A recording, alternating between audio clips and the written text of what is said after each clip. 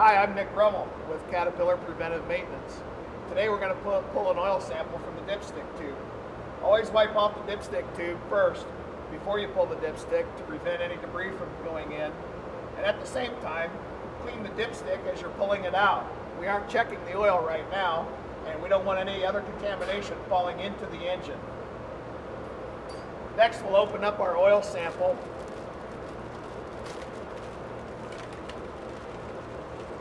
remove our oil sample bottle. I'm just loosening the lid. I'm not going to open it all the way up yet.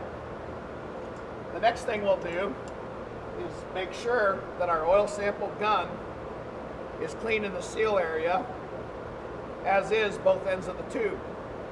You insert the tube to where it's about a half inch to an inch below the surface of the oil sample gun. Then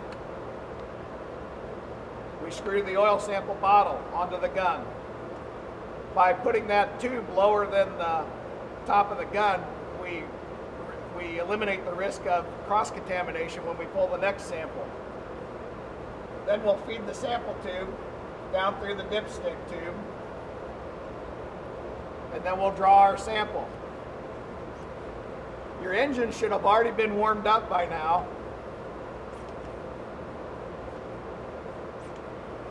and the oil will pull in rather stiff depending on what weight oil you're using.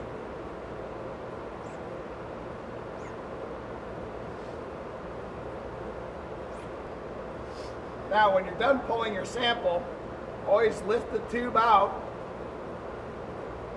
just a little ways and give it little, another little pump or two to make sure that you clean out the tube. Then we'll unscrew the sample from the oil sample gun and put the lid on. The next step then, of course, is to remove the tube. Making sure again that we keep everything clean.